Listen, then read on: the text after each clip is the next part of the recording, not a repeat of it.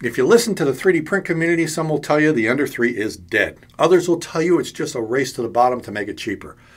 But is it actually evolving, staying under $200, and is still a great place to start 3D printing? Let's talk about it on today's Filament Friday. This video is brought to you by the generous donations of my Patreon supporters. This video is sponsored by Creality3dofficial.com by ComGrow. If you were to go to Google Trends to find out what people are searching for, and you look for Ender 3 or 3D printing, you'll find they're synonymous. The chart shows they're about the same search. People who search for Ender 3 are also searching for 3D printing. It's, it's equal. But if you search for any other popular printer, say the Bambu Labs X1C, which is really popular right now, it doesn't even show up in comparison. Now, it doesn't mean it isn't popular, it doesn't mean people aren't using it, but there's still a huge audience for a basic sub $200 3D printer to just get started and learn if you even like 3D printing. And that's where the Ender 3 is actually a great option. Now, of course, some will say, which Ender 3? Because there's been a lot of evolution. There's Ender 3, Ender 3 Pro, Ender 3 V2, Ender 3 Neo, Ender 3 Neo Plus, Ender 3 Max. So yeah, Creality kind of made it confusing. But I'm talking the basic Ender 3. The basic Ender 3, the original Ender 3 was under $200, and then they came out with the Ender 2 Pro, which fixed some of the things that people didn't like. And this really became the most popular Ender 3, the Ender 3 Pro right here. Well, now the Ender 3 Neo is the evolution of the Pro.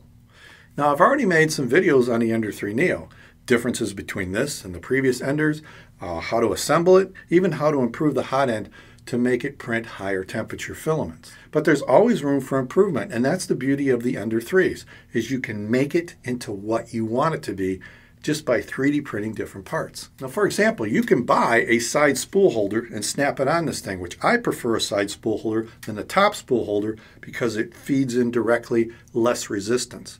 But you don't have to buy it. I've showed how you can print your own pivoting side spool holder or just a fixed spool holder that slides right on the rail and then you get your side entry, and it didn't cost you anything but some plastic and time. But what those little improvement prints teach you is how to 3D print, such as that side spool holder bracket. You want to make sure it's strong enough to hold the spool. You want to make sure that it fits the rail. You want to make sure that it prints flat, that it's not warped. These are all things that you learn by printing and also how to set it up properly in the slicer, whether you're using Cura Slicer, the Creality Slicer, Prusa Slicer, or even the Bambu Labs X1C Slicer. They all have Ender 3 profiles inside of them. They all cater to this basic machine because they know a lot of people are going to start here and then maybe move up to a Prusa MK4 or a Bambu Labs X1C or what other printer is out there that you're considering. But they all start with an Ender 3. So it's still, even other manufacturers recognize this is where a lot of people start, and there's nothing wrong with it. You'll also find that 3D printers are a tool. They're not an appliance, they're a tool. And you're going to break things, especially if you're starting out. You're going to break a nozzle, you're going to tighten screws too much. It's just going to happen. So having replacement parts available to you is very important. And you can get Ender 3 parts pretty much anywhere on Amazon, online, anywhere. And they're really low cost. So to fix your machine, it's easy to do and also very affordable. Now, some things have improved on this Neo that are not on the Ender 3 Pro. One of the things is an auto level sensor. This will actually help level your bed automatically. Once you set it up, it does help. This has a glass bed, which is nice and flat. This can sometimes be warped, which can throw off that first layer and really mess you up. This also has a metal extruder. On this one, it had a plastic arm extruder, and those plastic arms would crack. You'd get slipping of the filament, and you couldn't figure out why your prints weren't coming out good. This one has a metal arm. So those are the kind of things that they fixed. This also has silent drivers on the stepper motors, which makes them quieter, but also runs smoother. So you get better prints than you do on this machine here. So there's been definitely some improvements. It has evolved into a better machine and still stayed under $200. Now because there were so many Ender 3s made, there's some that come out of the factory that aren't perfect. It's just like everything.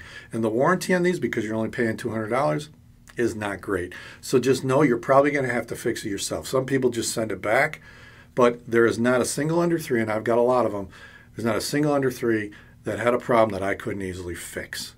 But in most cases, I took it out of the box, assembled it properly, and it's been printing fine ever since. Creality3dofficial.com by ComGrow is an official reseller of the Ender 3 and all Creality products. The Ender 3 Neo is $219, but if you look closely, they have a discount code. And when I ran the discount code in my shopping cart, it saved me $54. So it's a big savings and puts you well under $200. So if you're looking at getting an Ender 3 Neo, check out Creality3dofficial.com by ComGrow. Now, if you've watched the channel for any length of time, you know I've also recommended this as a great starter printer, the Ender 2 Pro. Now, it's a smaller, lighter, portable printer than this guy here, so it's got a smaller build area, but it's also a great place to start. Now, you can get this machine for about $150 or less, so it's definitely cheaper than this, but it's a smaller build area, so you can't print as big. And it also doesn't have the auto level sensor you have to manually level, but it's easier with the smaller bed, and if you use my Filament Friday E leveler, it's even easier. You can get a perfect bed level. And it's got some features that even this guy doesn't have. Belt tensioners to keep the belts tight so there's no wobble in your prints. You got to keep the belts tight. So that's something you may want to add to this. It's also got a drawer here on the side to store tools. You can download designs that'll slide right in here and print for this guy. So again, it's just a matter of improving the printers and learning how to 3D print. And both of these are a great place to start. So is the Ender 3 dead? Is it just a race to the bottom? Is it going to get so cheap that they're going to give them away or not produce them anymore? Or even that, the Ender 2 Pro, is it going to go away? I don't know. I hope not. I don't see it that way.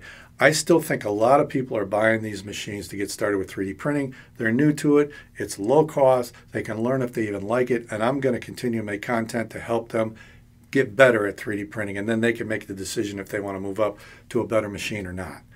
But I think they're going to stick around, and I think the evolution of the Ender 3 just gets better and better. There's definitely more room for improvement. Maybe it'll be the next generation of Ender 3 with a side spool holder and adjusters and the you know tool drawer or whatever else they want to add. But I still think it's a great place to start, and I like that it's continuing to get better and still stay under that $200 price tag. So what do you think? Let me know in the comments below.